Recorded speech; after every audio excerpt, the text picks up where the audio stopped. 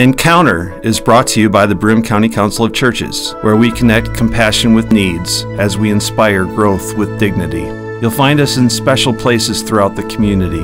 For those who remain hungry, we provide meals. For those who are challenged, we build wheelchair ramps. We comfort those who are ill, minister to those who are confined, and we remain an advocate for change and understanding on behalf of every element of our community.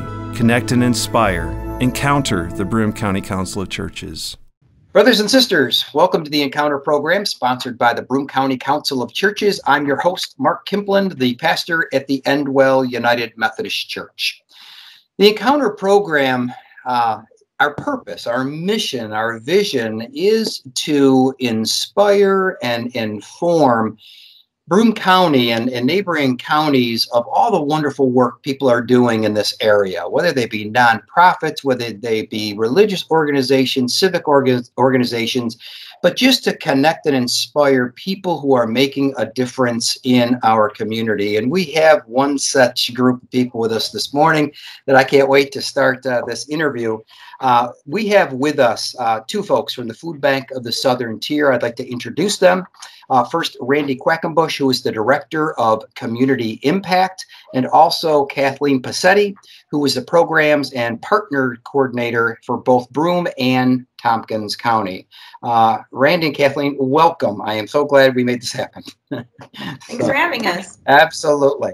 Well, let's get right to it. Um, first, why don't we just start with a little intro for each of you as to, uh, I gave you the title, uh, but maybe you might want to flush that out a little bit, uh, and maybe your involvement with uh, uh, the food bank and, and a little bio about that, if you would. Randi, would you would you start uh, on that? Sure. Um, so again, my name is Randi Quakenbush. I'm the Director of Community Impact with the Food Bank. I'm coming up on my eighth year anniversary at the Food Bank. And the role of the Community Impact Department is working with all of our program and agency partners in the, our six county service area, as well as our advocacy and education programs. And we also have a data and evaluation function within our department. Awesome. Great. Kathleen. Well, as you said, I'm Program Partnership Coordinator. I cover Broome and Tompkins. And one piece of my job is to support, um, let's say, existing relationships and build new ones where we spot opportunities. So I get to help cut through the isolation. Some people talk about it as siloed work. Mm. Um, to like learn where folks are thinking they have to come up with solutions by themselves, but offer the backing of the food bank and of the nearby pantry or meal site. So like my customers are the frontline workers. So they're mostly volunteers whose guests or customers or clients are the community members that they serve. Um, uh, can I give a couple examples? Yeah, absolutely. Okay. Absolutely. So, like, I concentrate on who is um, looking out for one another and teaming up with neighbors together. So, that way of being, I can think of Mary Lou and Taryn and Alice at Trinity's uh, Walk Up Pantry. They really embody this in their work. And um, in, in one of your previous interviews, you were talking with um, the folks, the retired pastors of Hands On Ministry, and you mentioned how responsive Broome is to people's needs. And I've only been at the food bank since January, so I'm at month nine. Okay. And um, I completely agree with what you said. I, have really been seeing that. It's really been striking. And um, it's really what the food bank and Chow and 211, like that we're all here to support that frontline work that meal sites and pantries are doing in schools, you know, to get food distributed to all. Um, I want to do a shout out to uh, who you know well, um, but in terms of re- that responsiveness. Um, so Dave and his team at the United Methodist Church in Endwell. So they run the Lord's Table, um, Lord's Table community meal, and that the drive-through that they've partnered with us in terms of that drive-through mobile food pantry. Uh, and they deliver food to many, many families and individuals who can't make it out there. And I know because you're, you know, you're there loading the food as well. But just this past week, we got a call from a couple whose health conditions really make it impossible for them to go to the mobile and they wanted to attend the upcoming one. So um, someone at the food bank called Dave and he said, you know, it's 15 miles away. And he said, absolutely. He didn't even hesitate to say, well, of course we'll deliver.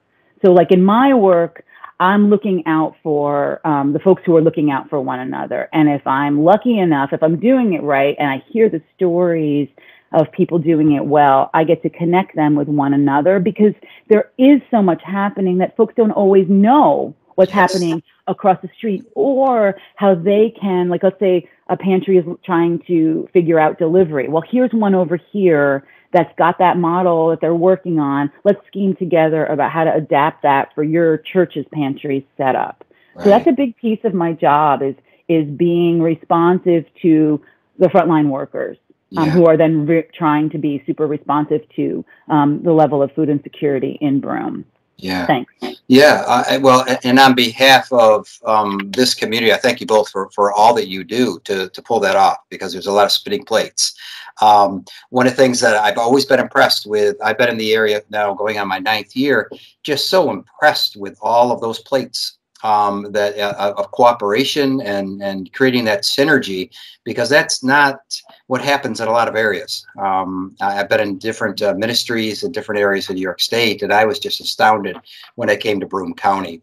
Mm. Uh, but still, one of the things that we always have to to be aware of is even though there are many great things, it's still, and I'm sure you would agree, it's always a constant um, importance to get the word out to, to, to make sure that everybody knows. So, how would you? Uh, can you just kind of summarize your work? Um, someone hears uh, uh, the food bank of the Southern Tier. Uh, uh for some, that's just verbiage. For some, it's something very intimate. How would you describe your work and its purpose and its mission and such things? Sure, I'm, I'm happy to kick off that answer. Um, so, the Food Bank of the Southern Tier, we've been in operation. We're coming up on our 40th anniversary, and our mission is working together to build and sustain hunger free communities throughout the Southern Tier. And we do that in partnership with, with a lot of the folks that Kathleen mentioned. You know, the food bank is one building. We're headquartered in Elmira, but we cover six counties. We cover Broome, Chemung, Tompkins, Tioga, Schuyler, and Steuben. And within those our six counties. We work with over 300 partners who actually help us to move the food. Uh, so we're part of the Feeding America network. Feeding America is our national umbrella organization that includes over 200 food banks across the country. Every county in the US is served by a different food bank, and we work in collaboration to source donations nationally. And then we also obviously have a lot of local donations. So we do retail pickups from grocery stores, we work with a lot of local farmers. We actually purchase some local produce. We get uh, a fair amount of our food comes through the USDA, the U.S. Department of Agriculture, through a program called the Emergency Food Assistance Program. And we also actually purchase some wholesale foods because we can't always rely on donations to ensure that we have staples. So that's kind of the the big food bank structure and then, yeah, within our six counties, we have 400 or 4,000, I'm sorry, square miles that we work in, which seems pretty big, but there's some food banks that cover whole states. Mm-hmm. Um, yeah, so it's kind of just the the basics of how the food bank operates. Yeah, Kathleen, anything you want to, you want to add to that? I don't think okay, so. Okay, Thank great. You. Well, I, I, I appreciate that. That that is very helpful. I think for those that know a lot about the food bank and those that might be tuning in uh, this uh, today and, and just have heard it. So, uh, but friends, we are. I, am thrilled to have uh, with us this morning as guests uh, both Randi Quakenbush and also Kathleen Pasetty from the Food Bank of the Southern Tier. I guess my next question is this: um, in case you didn't know. Um, we've been 18 months in a pandemic. uh, how has that changed? Uh, what it is you folks do? I, uh, I, am sure we all could write books right now uh, about our experiences uh, in, in, in, those things that we do. Um, what, Kathleen, what, what, what's changed in, in, in your role or in, in the role of the food bank over the last 18 months, and how have you adapted? I'm going to toss that back to Randi, given that I've, I, and then I might add something afterwards. Absolutely. Given that she's been there for all Absolutely. of it. Yeah. That Thank sounds you. great. That sounds great. Yeah, I I mean I hate to use this word because it's been overused, but pivot was the key theme. Uh, we I think what was kind of you know interesting to me is we assembled our staff in the warehouse on the afternoon of Friday, March 13th, and I just remember because it was Friday the 13th and we talked about you know what might happen if things shut down and who's essential who would need to be in the building and who wouldn't and we did have a, a bit of a plan um, and then we all went home that night and the first schools started closing and thankfully, a lot of staff took their laptops home because we said if you are able to work from home, don't come in on Monday. So we had a, a core group of staff who were in the building, and, and then folks started working remotely. And then we just went into kind of two weeks of not chaos, but almost approaching chaos, and that nobody really knew what was happening. The schools were being closed. We didn't understand how COVID was being spread and we we knew we had to figure out a new model of contactless distribution so we had to make the really hard decision to suspend our current mobile food pantry model, which we call a walk up model, where we have a truck and people come up and walk around the truck and they shop because we just knew people weren't going to be able to, to distance in that. So we converted all of our mobile food pantries into what we called these community food distributions. And we were serving 500 households. And it took us about 13 days to pause our normal operations and to move into that model. Uh, we also knew we wouldn't be able to have a lot of people in our building in our, our production room where we have volunteers pack food. So we had to make another hard choice to actually suspend production in the building which meant we, we couldn't have people packing boxes. And so we need boxes to be packed, but we can't do it safely in our building. So we set up five what we called offsite food hubs located around our six counties, somewhere in schools, somewhere in random empty buildings. Um, and we had people step up to run those as hubs, and we were packing emergency food boxes in those spaces and, and getting those boxes out through our school districts, actually. And our school districts just had did an amazing job over the past two years in getting an, a, a, lot of food out and taking advantage of, of flexibilities and school meal options. So not only were they moving their meals, they were helping us move these these non-perishable boxes, and then a lot of schools actually helped us move produce. So that was going on in the summer. Um, our CFDs, the the drive-throughs, were getting a lot of media attention, but at the same time, the majority of our regular food pantries remained open.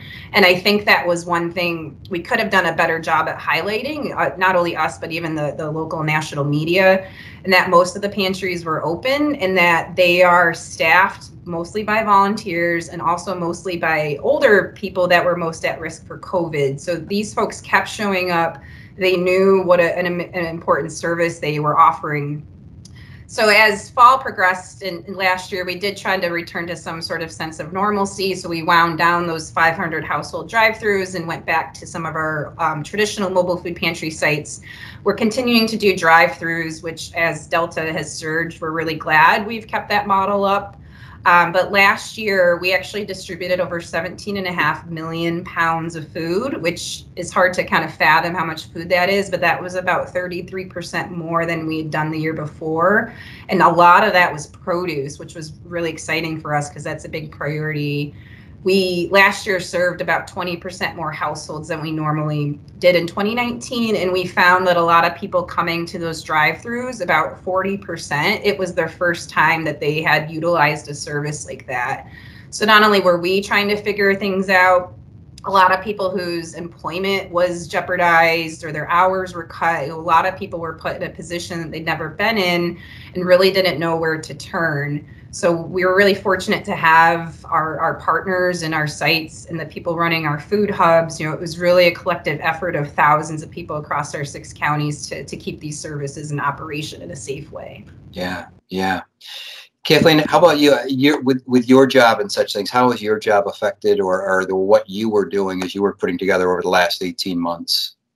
Well, so I started in January. So yeah. I will say that by the time that I arrived at the food bank, um, a lot of systems were in place okay. in yeah. terms of working remotely. Sure. Um, but I do have an example of yeah. a pantry and how it's pivoted that I'd love to share now, or please, I can wait please, on that. Please, um, so, you know, every pantry that could figure out how to stay open or has returned to being open um, is really, it, it, varies, right? The stories really vary. Um, so one of the rural ones I want to um, highlight is Windsor Human Development. So they're at Our Lady of Lourdes Roman Catholic Church in Windsor. And these are tremendous volunteers working side by side with community members. So Bridget and Trevor and their team in Windsor, so they shifted their pantry to the church parking lot, right, during COVID. And now it's actually a community gathering place. Mm. So one person plays the guitar from the back of their truck other people um, strategize, um, they share their strategies about how they've lowered their utility bills. Um, Bridget and Trevor were telling me how they um, set up an internet hotspot there so that folks in this rural area can inter- have internet access and can have a buddy as they are accessing services online. They're staying safe and connected in this tr- church parking lot. So, and, and they're happy to continue with this model. It's working really well. Everyone feels safe and thought about, and it's really what we like to think of as a model of like a of a community food center, and that's something that's come from COVID. Yeah, yeah, M- much has. I uh, yeah. just even even on a personal level uh, here at the Endwell United Methodist Church, uh, this 18 months transforming a beautiful uh, fellowship hall that was kind of the center of everything now has pallets all over the place. And, and, and, and, and has boxes and bags and and and just uh, it's it's the warehouse really of, of what we do right now uh, um, in in relationship with the food bank of the southern tier which is um, which to me is exciting. Uh, took a little while to get used to um, because uh, we I can't even remember the last time we've had uh, anything other than that happen in our fellowship hall, but it's meeting the need, and mm-hmm. uh, that they've embraced that, which is which is phenomenal. Uh, friends, we have with us uh, on our show today um, Randi Quakenbush, the Director of Community Impact, and also Kathleen Pasetty, the Programs and Partnership uh, Coordinator uh, for both the, the Food Bank of the Southern Tier um, as our guests today. And one question as we were preparing for this uh, show that, that, I'm glad that you included, and I'd like to ask it now. Um, again, I haven't been, I, am not a, a, native of the Southern Tier, and everything is new every day. I learn of some new agency or, or something like that. But how do you work together with Chow? How, how is that relationship? Because there's lots, there's so many of these things that are around, and I often wonder how they all how they all work together. Sure, Randi, shall I take that? Yep. Okay, great. Yep. So number one, Chow is a vital partner, um, and the Broome Bounty's food recovery program is so key, right, in the work of sustainability and thinking about our our planet. Um, so I had the pleasure of teaming up with Clayton and Mike and Nathaniel from Chow in um, in August last so last month. Um, there was a an event uh, at Binghamton's Night Out, um, and that pastor Henry Osby and the team, um, the Hands of Hope Ministry, right? They they organized this tremendous community event, and so it was super well attended. And there was giving out food was a piece of that, but a lot of other things, great things happened that night. So we we're teamed up. Broome has the largest meal gap in uh, in the food bank service area but there is food enough for everyone. So between Chow's distribution, Broome Bounty, the food bank, and the many partners um, we're we ought to be able to get the food in everyone's you know hands and and and stomachs. So we're all very motivated to eliminate this gap. We are on the same team with similar missions for sure. And we have this contractual partnership basically that makes it sort of official about how we bring our resources together. So, I mean, really the bottom line is it's a very important relationship and we work closely together um, distributing food, some from the same sources, some from different sources um, and bringing it to our partners and into the community. Mm-hmm. Do you want to add anything, Randi? Um, I guess just to build off the contractual relationship, um, Chow is part of the Feeding America network, just like we are. They're called a redistribution organization, so they're kind of like a sub food bank for Broome County. Kathleen, you, you, you used the word um, that, that intrigued me when, when I heard it. And, and I know this might be very subjective, and if it is, please forgive me, but uh, I, I, would welcome you, uh, either or both of your inputs. You mentioned that gap um, between what we have and what's available. And I'm thinking you're saying the gap is those that may not have access to that for whatever reason. Can you describe that gap? for, for our listeners and viewers I, and i know that's subjective you probably can't say x number of people are in this gap or anything but can you can have, kind of give some flesh to that as to what we might be looking at Randi, I know you can. sure. Um, we refer to what's called the meal gap frequently. It's um, data that Feeding America provides us annually. The data is a couple years old when we get it, but it's based on a, a pretty complex formula looking at food insecurity rates, poverty rates, um, even things like employment and home ownership, and they they compare that number to the amount of food that's distributed by the Charitable Food Network.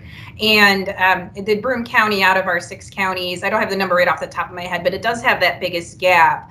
And what we're really working to do, and as Kathy mentioned, is we know we have all the resources there. It's that a lot of people might not know about it, or the resources might not be available when people need them, or they might not be in a convenient location. So, really trying to think strategically. Like, we have all this food, we have all these awesome partners and amazing people working together but something is still not you know catching there's something missing here and we actually just uh, conducted a really in-depth um, study last year, and we got the results in February on underserved and under-resourced populations. And we found in Broome County in particular, there's definitely pockets of refugees and immigrants that we're not reaching. So there, you know, there's might be a real easy solution, and that might be translation services that we don't have our materials and the language that people need. And we need to find out like what are those languages and how do we get the, those materials and that also has helped us think about new partnerships. So how are we working with organizations that work with those particular populations? How are we creating systems where it's much more convenient to pick up food? So we're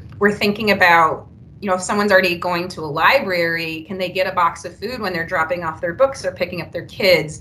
Or if people are already, you know, attending after school programs, how do we expand our work with schools to help parents pick up food? So this the solutions are a little more complex, and uh, and um, we've kind of operated in the past out of a one size fits all model, but we've learned that that just doesn't work, and it really needs to be a community level solution. It can't be a six county or even a county wide solution to meet the need. So yeah, trying to be a lot more strategic with our resources. And, and having positions like Kathleen's, where she really is deepening and developing relationships not only with her partners, but she's creating relationships among partners, which is which is fabulous. Yes, yeah. Thank you. That's that very insightful. I, I, I, appreciate that. And a wonderful segue for my next question. uh, there are those that are listening or watching this program right now uh, that have a lot of knowledge about the food bank and those that are hearing about it for the very first time. So I guess a twofold question, and I'll let either or both of you answer this. Uh, how, how do people get involved? Um, uh, how do they how do they become a part of that network? Or on the other hand, how would they uh, go about receiving assistance from the food bank? Okay. I'm going to sure. say a few things first, Randi. Yeah, and go then, ahead. Okay. So just want to make sure I'm clear on making sure I say, so if I'm working one or two jobs and I'm still behind on my rent, or I'm foregoing a meal so that my kids can have a full dinner, you know, going to a pantry can feel, make a huge difference in my monthly food budget. Um, and a partner uh, recently said, you know, if I, want to come and shop for come and shop for free here before you go to the paid grocery store, and it will make a big difference in one's life. What we hear a lot is people saying, um, I can't use that resource; it's there for someone else. Well, it's actually here for everyone. And um, Julie of Our Lady of Sorrows in Vestal, she knew there were folks that were experiencing this but weren't coming to our pantry. So we set up this text blast and it reached a whole number of people that thought, oh, that's not there for me. And now they know and it's making a difference in their in their lives.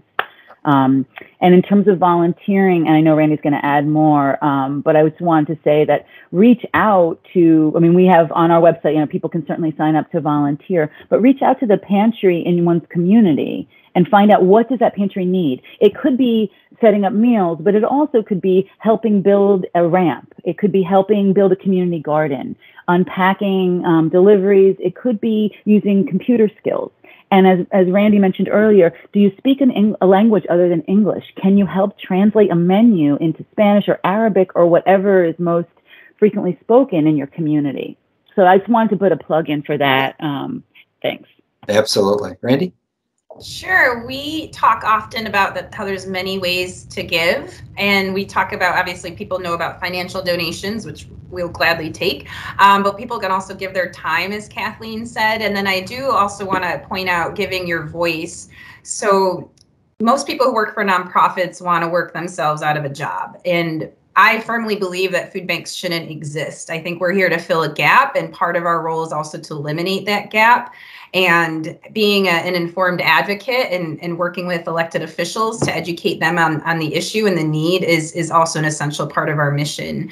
Um, so the best place to, to find out how to get more involved is definitely our website at www.foodbankst.org. Um, but I also want to make sure folks know about the resource 211. 211 is a helpline that you can pick up a telephone and dial 211, just like you're calling 911, but it, it will go to 211. And they can either help you find a place to volunteer, but if you're also needing assistance, they can connect you to resources. So that's a really great one stop shop of either getting more involved or, or getting assistance that you might need. And I do just want to echo what Kathleen said is we're really trying to change the narrative that the, the food pantries and the, the assistance is only for certain people or people that are really, really struggling. It is there for anybody. And any of us could be at any moment needing some help. And then maybe in a few months, we don't need that help, or maybe we still do. Um, but yeah, we have heard that that people are like, I, I could use the help, but I, I'm worried I'm taking it from someone else that needs it. And that is not the case. There is enough for everybody. Yeah, that, that's a great. And, uh, you know, e- even for me in, in what I do, I, I, I need to sound that uh, more often also, that it, that it is open for everyone. It's just not something we do for someone else all the time, but other people can, uh, can be, a, uh, uh, can benefit from that also. I just want to take this time to to thank you both uh, for taking your time, uh, not only just in in, in this uh, brief moment, but in everything that you do uh, every day with the food bank. It is very very much appreciated, um, it, especially and again I'll go I'll go back to my roles as pastor to know that this kind of support exists in Broome County. And so I really, truly, from the bottom of my heart. Uh, I don't do this very often in interviews, but I, I, I do really want to thank you for what you both are doing and and and your whole team. So thank you. I appreciate it. Friends, we've had the honor and the privilege uh, to speak with Randi Quakenbush, uh, the Director of the Community Impact, and also Kathleen Pasetty, the Program and Partnership Coordinator for Broome and Tompkins County, with their work with the Food Bank of the Southern Tier. So please get involved any way that you can. Go to their website and get all the information and, and help um, help them help others uh, by promoting this uh, wherever you can, however you can. So thank you for joining us today. Uh, we hope you have a blessed day and stay safe. Thank you for joining us. Thank you, Mark. Thank you.